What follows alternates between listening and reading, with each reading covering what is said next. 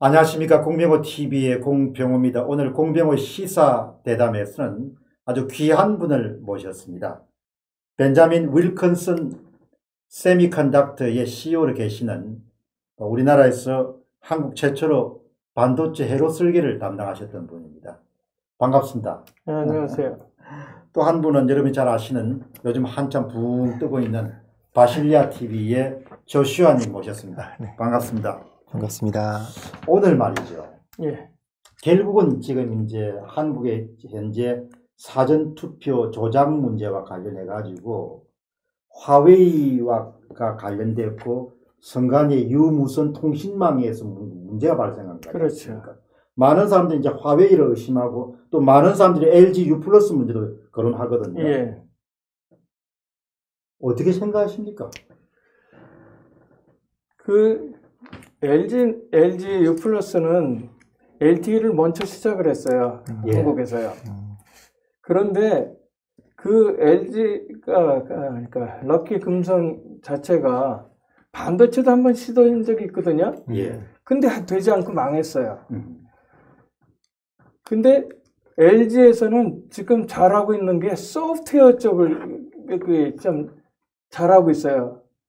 근데 이 그러니까 회사에 맞 회사에 따라서 하드웨어 oriented 하는 데가 있고 그다음에 칩을 설계하는 데가 있고 소프트웨어 하는 데가 있는데 소프트웨어 하는 사람들은 소프트웨어 하는 사- 사람의 생각대로 움직여요. 음. 소프트웨어 하는 사람들은 대충만 들어가지고 빨리 일일리지 하고 음, 그냥 또 고치고 또 고치고 또 고치고 음. 그렇게 하다 보니까 이게 아주 깊게 보는 그런 눈이 없는 거죠. 음, 예를 들어서 이런 시스템을 해- 해가지고 지금 선거처럼 굉장히 중요한 거라면 이게 국가 안보에도 관계가 되는 건데 당연하죠. 그것을 생각 안 하고 화웨이 제품을 했는데 나중에 보니까 미국에서 지금 전부 다 클레임이 들어왔죠. 예. 화웨이 제품에 폴란드에서 스파이지 됐다. 음, 이런 식으로 전부 다 들어왔기 때문에 지금 아예 소프트웨어 culture만 있는 회사에서 하드웨어를 도입할 때 우방을 생각 안 하고 그냥 중국 몽에 붙어, 붙어가지고 음, 싸면 좋은 줄 알고 그렇게 그러니까 전혀 안보에는 관계없이 채- 채택됐다고 봅니다. 그런데 이제 지금 말씀을 하시니까 예. 지난해 6월 무렵에 상당히 한국이 시끄러웠거든요. 예, 왜냐면 그 당시에 이제 트럼프 행정부가 화웨이 제품을 퇴출시킬 때니까. 예, 그래서 미국과 동맹국들은 화웨이의 시스템을 써서 안 된다. 예, 그 당시 해리 해리스, 예, 미 국 무부, 예. 미 국 방부가 다 주의 경고를 했고 또 해리 해리스 대사 같은 경우는 한 번 정도가 두 번 정도 아예 탁 꼽아가지고 LG U 플러스한테 경고를 했단 말이죠. 예, 그런데 그 지금 1년 만에 또 큰 그 하웨이 때문에 너무나 이제 한국 사람들이 진통을 겪고 있는데 그 그런 거를 왜 화웨이 그 시스템을 2013년부터 도입했다는데 왜 그런 결정을 내렸습니까? 싸기 때문에 그렇게 한 겁니까? 소프트웨어 하는 그 문화에 있는 회사는 하드웨어를 잘 몰라요. 음, 그러니까 뭐 여기도 되고 저기도 된다니까 한 것 같은데 만약에 하드웨어를 좀 아는 사람이면 아 이건 백도어도 만들 수 있겠다 이런 것을 생각하고 할 텐데 그랬으면 LG에다가 그러니까 하웨이에다 주지 않고 차라리 삼성한테 줬, 주면 좋을 텐데 음, 그러면 비, 어, 그 비밀이 보- 새어나가지 않, 않을 거 아닙니까? 음. 근데 외국에다가 주- 주면서 하- 한국의 보안을 생각 안 하고 음, 그것은 소프트웨어 하는 사람들의 그 회사의 그 문화 때문에 그렇습니다. 음. 작년도에 이제 예. 그 문제가 한참 그 화웨이의 5G 관련된 그 시스템 예. 서버 문제가 문제가 됐을 때 제가 이제 그 언론을 쭉 추적해 보니까 미국에는 상원위원들이 그렇게 관심 있는 사람들이 많아가지고 그렇죠. 행정부보다 상원위원들이 경고를 해가지고 음. 한국에도 편지도 보냈어요. 예. 화웨이 제품 쓰지 말라고. 음. 그래서 아, 이 사람들은 보이는 세계뿐만 아니고 보이지 않는 세계가 미치는 영향을 이렇게 정확하게 정치하는 사람도 알고 있구나. 그런 그렇죠. 판단을 했거든요. 전문가죠. 그러니까 지금 그 하위 조금 전에 말씀하신 것 중에 제가 인상적인 게 한국에서 대기업을 하면은 예, 돈만 챙기면 안 되고 예, 중장기적으로 한국의 안보 문제에 위해를 가할 수 있는. 근데 그 2013년이면 훨씬 전에 미 상원위원들이 네. 다그 문제에 대한 위험성을 알고 있고 이미 화웨이 초기에 5G를 도입할 때 이미 경고를 했더군요. 그렇죠. 편지를 가지고. 예, 그때 아마 바이든 대통령이 부통령이 중국을 가던 길에 한국을 들렀던가 그렇단 말이에요. 예, 그러니까 이번 사태를 보면은 정말 LG 그룹 차원에서뿐만 아니고 LG U 플러스가 앞으로 얼마나 많은 그런 고통을 주겠냐 이런 문제가 그럼 이걸 선거면은 단 국방 문제는 없겠냐 아. 그게 또 LG 플러스가 화웨이 제품을 쓰게 되면요. 그게 그 한 도, 도, 도시를 갖다가 다 감시하는 감시망을 만들 수 있습니다. 음, 그렇게 되면 완전히 중국에서 그 중국 그 국민들을 갖다가 일일이 얼굴까지 다 감시해가지고 다 하는 것처럼 AI까지 써서 그렇게 하는 것처럼 한국을 그렇게 감시할 수 있습니다. 그렇게 된다면 이거는 완전히 인권이 유린이 되고 어떤 일이 일어날지 몰라요. 그 당시에 LG U 플러스가 화웨이 시스템을 도입할 때 그 당시 의사결정을 내리는 최고 장소에 이상철 씨가 있었거든요. 예. 그 장, 장관직을 수행했고 예. 그 정도 안목이 충분히 있는 사람인데 어떻게 그런 결정을 내렸는지 모르겠어요. 나는 작년 때 엄청나게 경로했거든요. 어떻게 당신들이 이런 결정을 내릴 수 있냐 이야기야. 그것은 뭔가 리베이스 있지 않고서는 그리고 LG U 플러스를 물러난 다음에 짧지만 예. 화웨이에 고문으로 가 있었단 말이죠. 그러니까 한일. 한국의 국가의 통신부 장관도 지내고 예. 가장 큰 대기업에서 그런 시스템망을 구축하는데 기여한 사람이 마치자마자 바로 화웨이에 고문을 가니까 그걸 오해 안 하겠냐 이야기죠. 다 신문에 났지 않습니까 그때. 아니 그 그게 오- 오- 다 왜냐면 그 사람들은 자기네들이 그 한국에다가 스마트 뭐, 시리를 만들려고 하는 계획에 다 동조했으니까 얼마나 고마운 사람이겠어요. 그러니까 가, 갖다가 고문으로 쓸 수밖에. 그런데 갖다 고문을 갔는데 이제 뭐 네. 얼마 안 쓰고 왜냐면 이제 자기네들이 필요한 정보 다 했으니까 더 이상 필요 없죠. 음. 토사구팽 되는 거죠. 조슈아 씨한테 내가 한번 물어보고 싶은 건 있죠. 네네. 이제 어제 그 보여주신 그 음. 일종의 비례대표 네. 개표함 네. 그 이제 개표 장소가 쭉 있고 그래서 네네. 이제 정보가 화웨이 전용선을 통해 가지고 네. 별도의 서버를 가고 또 하나는 중앙선거관리위원회 서버로 가는 그 해로도가 상당히 인상적이었거든요. 네네. 내가 하나 묻고 싶은 거는 일단 선거관리위원회가 어, 누구 함께 줄 건지를 이제 결정을 하는데 일단 LG U 플러스가 단독 입찰을 했잖아요. 네. 단독 입찰을 했으면 내 개념은 네네. IT 관련된 단독 입찰을 했으면 뭐 예를 700억이다, 800억이다 이렇게 주면은 그 안에 시스템은 뭘 하고 그 다음에 또 뭐 개표기, 개수기는 뭘 하고 이런 부분들을 다 LG U 플러스 도급받은 원청 원, 원 발주자가 다 주는 거죠. 네. 네. 통상 갤- 경우가 어떻습니까? 보통 그렇겠죠. 근데 저는 이제 그 이쪽 그 공학 분야 그리고 이제 뭐 무선 통신이라든지 그런 부분은 뭐 자격증이라든지 이제 경험들이 있기 때문에 음. 좀 설명해 드릴 수 있지만 그런 대기업과 하청업체 간의 관계 이런 부분에 대해서는 예, 좀잘 모르는 자영업이라서요. 아, 네. 그런데 제가 이제 궁금한 거는 네네. 그게 이제 설계를 할 거 아닙니까? 네. 그런 그 이렇게 그 뭐 IT 분야도 설계자가 있을 거 아니에요. 그렇죠. 네네. 그렇죠. 설계자가 있는데 그 설계자가 보낸 이메일 내에서 그런 가상 화웨이 시스템 네. 그거하고 어제 밝힌 거하고 네. 너무나 유사한 거예요. 아, 네.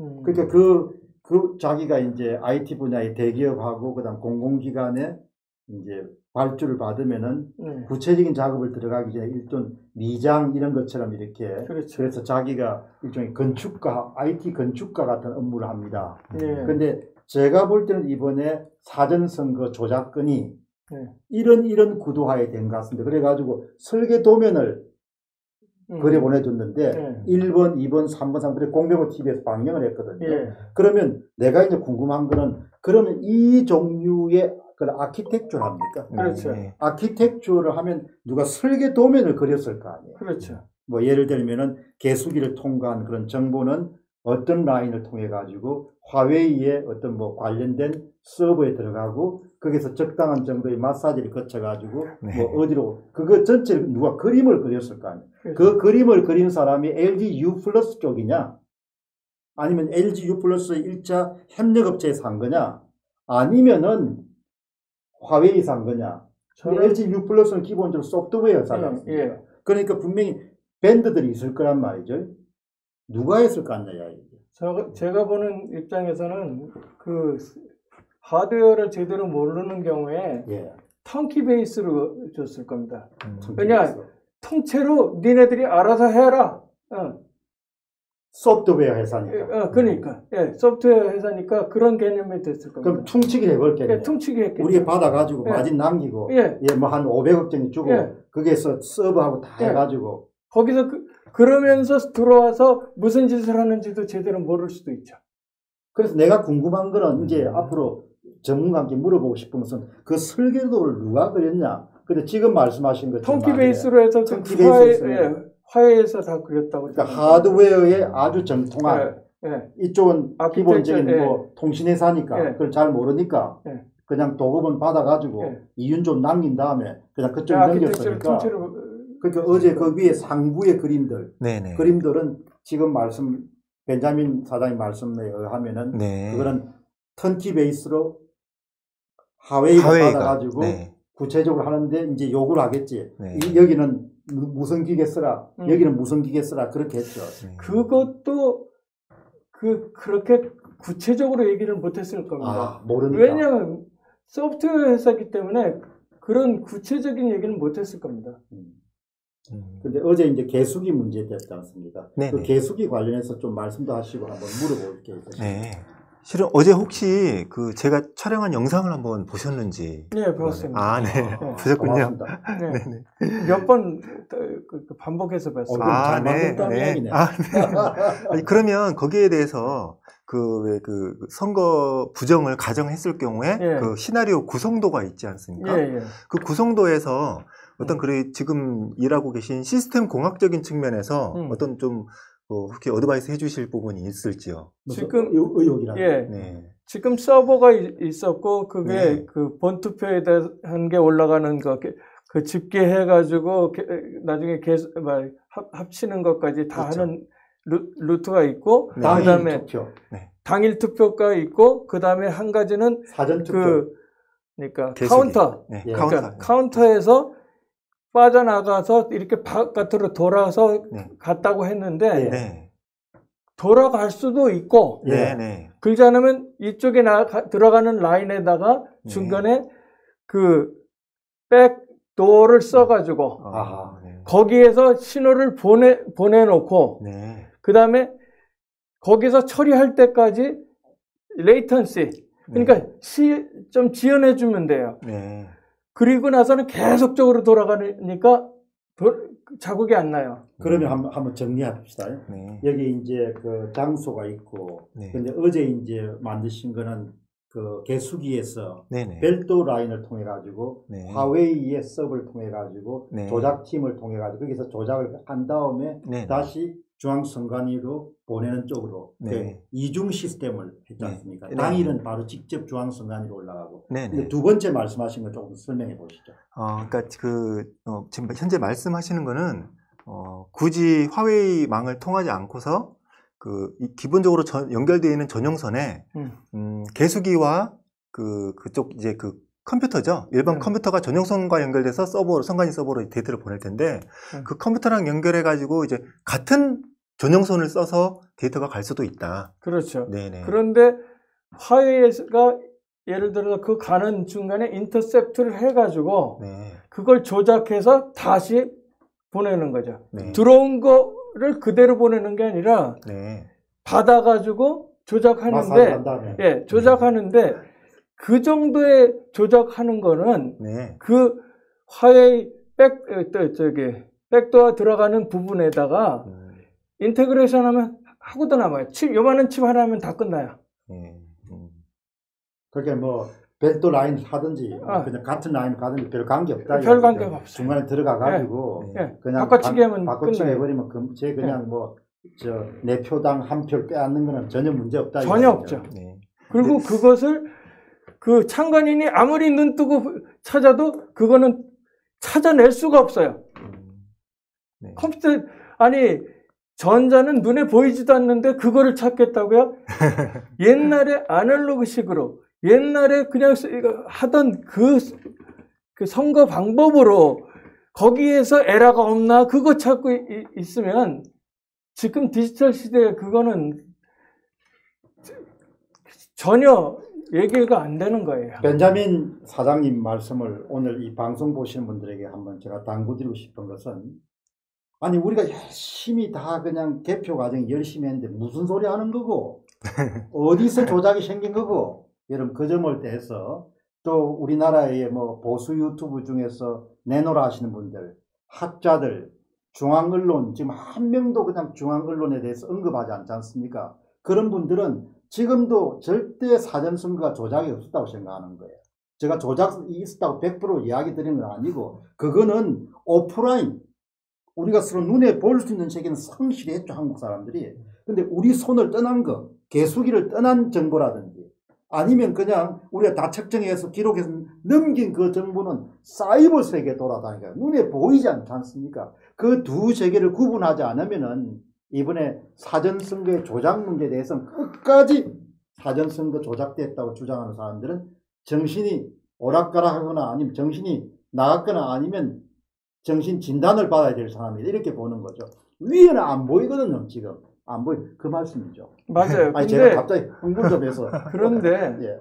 그러면 전자공학 하는 사람은 보이지 않은 걸 다 하고 있거든요. 예, 그렇죠. 디지털 공학 하는 사람도 CPU 만드는 사람도 CPU 속을 들여다보고 하는 게 아니에요. 음.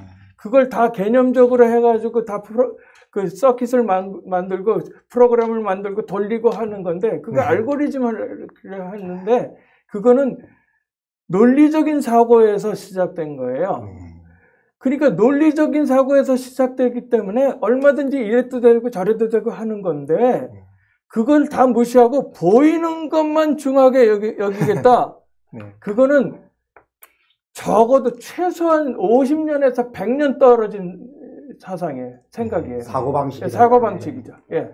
눈에 보이는 것만 가지고 어디 누가 투표함 그, 그 갈지 않았냐 예, 바깥에- 어떻게 수천 명을 동원해가 전국에 투표함을 다 갈겠냐 예. 이런 종류의 이야기를 했어 그거 없으면 그냥 사전 선거 조작 없다 이렇게 이야기하면 재산 50년 보시는 거야 100년 보시는 거야 아, 100년 정도. 100년 예, 100년 예, 100년 네. 뒤떨어진 거예요. 100년이면 뭐 구한말이나 아니면 조선조 예. 가야겠네요 왜냐면 한국은 그, 뭐, 알버트 아인슈타인이 독일에서 주입식 교육을 할때 음.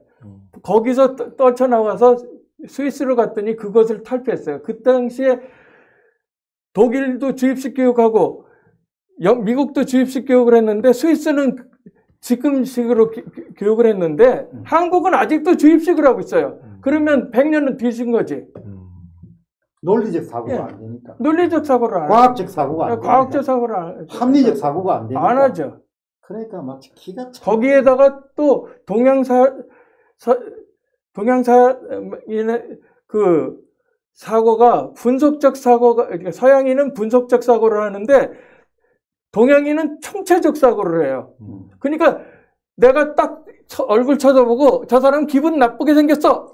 이렇게 하면 그냥 기분 나쁜 거야. 설명하려면 설명도 못 해요. 사과가 뭐냐고 하면 사과가 뭔지도 설명을 못 해. 그런 눈으로 이, 그, 뭐, 투표하는 거를 보니까 자기의 머리에 안 맞으니까. 응? 아니, 만약에 생각을 해보세요. 이, 2, 300년 전에 조선에서 핸드폰을 쓴다. 그러면 미친놈이지. 음. 예? 근데 쓰고 있잖아요. 네. 그러면 내가 모른다고 해서 그것을 거기에서 제한이 되는 게 아니라 그걸 쓰고 있는 사람들한테 제대로 물어봐야지. 물어보지는 않고 국회의원이라고 돼, 돼가지고 그런 거는 제대로 안 물어보고 아니, 엉뚱한 지, 지 머리 수준으로만 국정을 끌어나가려면 뭐가 되겠습니까? 지금 그 명언을 하셨네요. 내가 모르는 것은 존재하지 않는 것이다. 예, 이거네. 그렇죠. 내가 모르는 것은 존재하지 않는 것이다. 이렇게 하니까 통계 분석 결과가 현저하게 조작 증거를 제시해도 그걸 안 보는 거 아니에요. 아니, 그, 아예 문을 닫아요. 어느 정도냐면, 내가, 제 친구가 하나 있었어요. 근데 누구라고는 얘기를 할 수가 없어요. 근데, 그, 이런 거를 갖다가 한번 보냈어요. 그랬더니, 그 친구가 서울대에서 박사 받아갖고 그 교수하는 분이에요. 현재 교수예요. 음, 이런 거 보- 보내지 마라! 그러는 거예요. 그래서 깜짝 놀랐어요. 왜, 그, 뭐라 그러냐면, 저기, 나는 약간, 그, 자, 그, 저기, 진보는 안, 완전 진보는 아니지만, 진보 경향에 있으니까, 보내지 말라.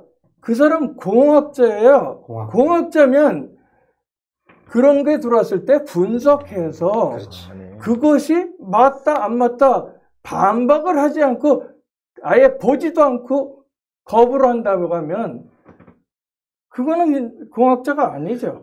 이상하네. 오늘 정말 저하고 죽이 잘 맞네요. 호흡이 아주 맞습니다. 그 보이지 않는다고 해서 자기가 모른다고 해가지고 존재하지 않는 것이다. 보이지 않기 때문에 존재하지 않는 것이다. 경험해 본 것이 없기 때문에 존재하지 않는 것이다. 내가 잘 모르기 때문에 존재하지 않는 것이다. 그걸 탈피해야 이번에 사전 선거 조작 문제도 보일 수 있지 않겠느냐. 그렇죠. 그렇게 생각합니다.